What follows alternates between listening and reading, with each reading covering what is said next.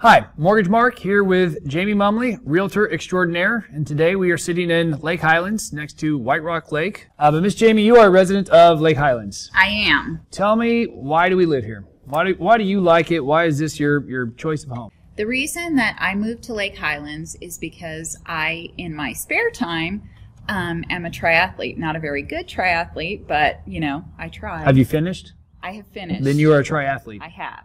So that was one of the main draws for me was the proximity to White Rock Lake, um, which is a great place to run, ride your bike, walk your dog. Um, there's White Rock Dog Park that's not too far away where you can have your dogs off leash to play with other dogs if they do that sort of thing. My dogs are antisocial, so we don't really go there. Um, but that was one of the draws for me. Since I've lived there, I've really gotten to know what a great tight knit community it is. Um, it's not unusual in the summer for neighbors to hang out on their front lawn with their favorite adult beverage while the kids run around back and forth between the lawns. And the neighbors just kind of chat and bring their barbecue grills out front and grill up some hot dogs or hamburgers. And it really is a great community um, sense and a community feel. It's basically like living in the suburbs without having to move to the suburbs. You've got mature trees, some older homes. There are not a lot of cookie cutter homes. There are some new construction, but they're mostly custom home builds.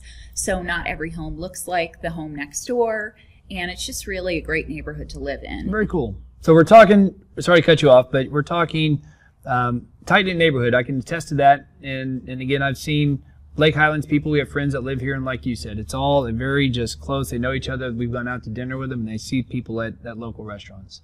Um, let's let's take that segue for a moment. Where do, what are some of your favorite Lake Highlands niche places, whether it's to shop, eat, or do whatever you want to do? I just know that there's some great little areas around here.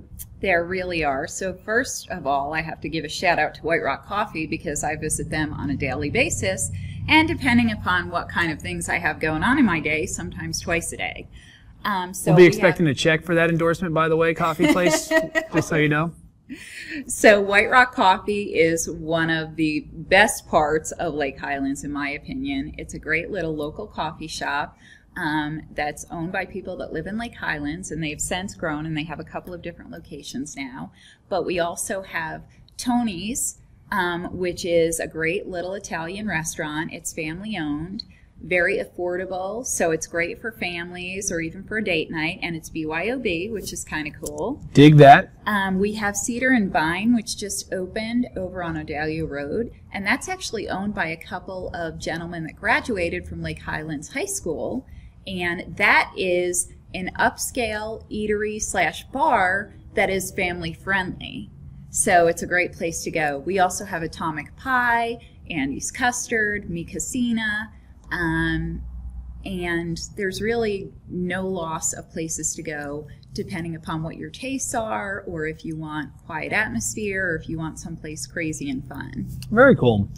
Well, thank you for joining us today on Neighborhood Knowledge. This is Mortgage Mark with Miss Jami Mumley, Realtor Extraordinaire.